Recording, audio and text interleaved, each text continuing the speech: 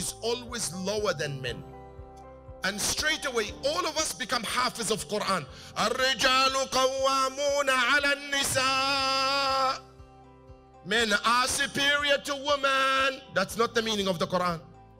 No, no, no, don't turn it. I'm not reading Majlis. صلوا على محمد وآل محمد. Yeah. صلوا على محمد وآل محمد. Okay? So straight away they say men are superior to women. No, men are in the service of women. Men are there to be helpers of women, according to the tafsir of the Quran.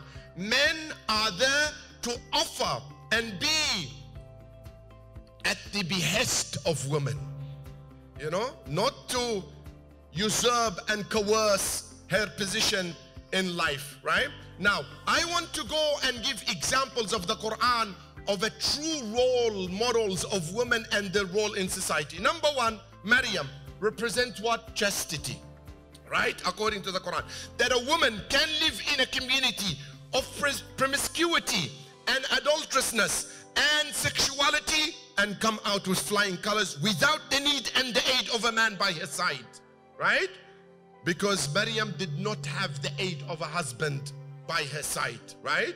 She did not have a man by her side. She went to the temple. She did her acts of worship. She challenged everything that came in her position. Even when she was attacked and she was told, يا أخت هارون ما كان أبوك امرأ سوء وما كانت أمك بغية. Oh, the wife of Harun, not Harun the prophet, huh? means Harun, yes, Huh? Yeah, her sister, Ya Ukhta Harun, not the prophet. But in, in, in line of the fact that they are holy personalities. And your father was a good man, your mother was a good man. Why did you bring that child? Ah, did she buckle? Did she crumble? No, she stood and withstand the challenge in front of everyone. The daughter of Shu'aib. What is the example of the daughter of Shu'aib? The working woman.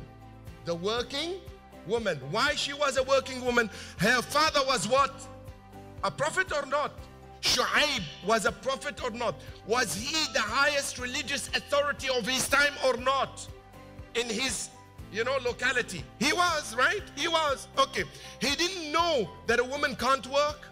He didn't know she has no right to financial independence or to go and be part and parcel of the society and the community she was in. Yes, she can be within the parameters of her knowing and drawing the lines within the parameters of religion of what is allowed and what is not allowed. Right or wrong? She went, she worked, she knew that she doesn't have to mix with the men. She used to take and herd, you know, sheep. She was a shepherd. One of the most difficult tasks to do, you know, to, to, to, to be a shepherd of, you know, uh, uh, she took them with her sister, came across a pond of water. Men are watering the herds and cattle or sheep. She stands aloof with dignity and honor, you know, but she's working. And then she observes Musa coming with respect. See, we need to uh, raise the level of respect when it comes to the question of interaction between men and between women and men. Uh, we need that. We need it in practice, not in theory right? In practice. So he comes gracefully. He said, I see that you are taking, you know, uh, a side path. She said, yeah, لا نسقي حتى يصدر الرعاء. We do not water our herd until the other shepherds move away. He said, can I take your sheep and I, the story, you know it. Now here the crux. The girl goes back, Allahu Akbar. Look about independence at its best. Decision making at its best. Imagine if your daughter comes this day and she says, Baba, I want to talk to you. Khair. What is it? Um, can you just calm down, please, first? I'll make you latte. Okay, can I make you a cup of tea? What is your favorite drink, Dad? You know what is my tea. Karak. Okay. She goes, makes him said, I met yeah, Naam? She hasn't finished. But give her, let her talk. I met a good man for marriage. Ya musibti. What a disaster.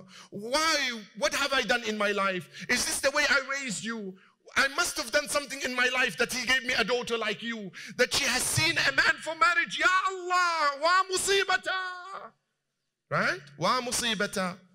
Yet the daughter of Shu'aib comes and she says, he says, you came early home today. Said, well, we met a very good man. He watered our sheep for us. Ya abati istajir. Huh? Oh, dad, hire him. إن خير من استأجرت القوي amin. Oh, my dad, hire him. The best of people you can hire, someone who's trustworthy and someone who is good. Trustworthy has the six pack. Good, you should, right? Qawi, Amin, right? Shu'aib straight away, he says, call him. So she goes, she calls him gracefully. He said, straight away, what is that? What is she telling him? That Musa is marriage material or not? She's telling her dad Musa is marriage material. He straight away understood. He's a prophet. He knows. He knows. He said, Uri, straight away, Salamun alaykum Musa wa alaykum salam.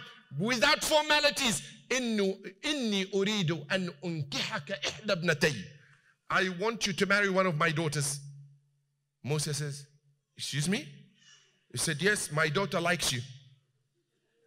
يا ساتر يا الله Sheikh Jehad is going to be deported tonight. Huh? tonight! This guy is a danger in our community in our society. Get him out huh? not my word Allah's word. Allah's word. Right? Istajir, hire him. He says, Yes, I'm willing. Because he knows she's a decent girl too. She's a very good, because something happened on the way that the air or the wind blew her dress somehow and she was directing him, said, for God's sake, walk behind me. Not walk behind me because she's lower than him, because he doesn't want to leave room for shaitan. He says, now you tell me, where is the direction? Turn left, turn right. So we, he knows she's a good girl. So she, she said, turn right, turn left, this is the house. What a decent girl. Amazing. Yes, I'll marry her. I'll marry her. Not only I will marry her, and I will honor her. Shu'aib says, her mahar is that you serve me for eight years. And ta'jurani samaniya hijaj. Musa said, no, no, no, what is eight hijaj? No, no, I'll make them ten. Huh? Don't ask for the dowry of your daughter. If she's worth it, he'll give her her heart. Don't raise it.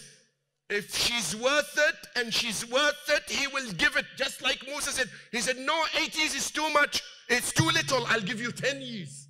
Huh? Ajib, he raised the dowry. He raised the dowry, right? Then another uh, uh, example, Asiya. Why Asiya? Asiya because she was in an environment of total corruption. Allahu Akbar. Maybe you need to read the Musibah by yourself, brother uh, tonight. Honestly, I didn't realize the time, but I this is very important. Asiya, in the midst of corruption, in the midst of corruption, right? In the midst of corruption. Asiya. Bilqis, oh, now the crux. Bilqis, head of state. Head of state. You cannot get any higher in position than that. Head of state. Queen of Sheba. Look what Zamakhshari said. Zamakhshari is an interpreter of the Quran. He says, she had a council of advisors working under her. All of them women. So she's the head of the state. The rest of the what is the number of her advisors? Listen, listen to this number. I was shocked, wallah al-azim. I was shocked. 313 advisors. Allahu Akbar. The same number as Sahib al-Asri was Zaman, the supporters. By the way, there's a riwayah in Al-Kafi that says among the elite of the advisors of Imam al-Mahdi, ta'ala sharif, 313 men and 57 women. The elite, not workers, not workers, advisors. Huh? The elite, 313 men and 57 women in positions of leadership.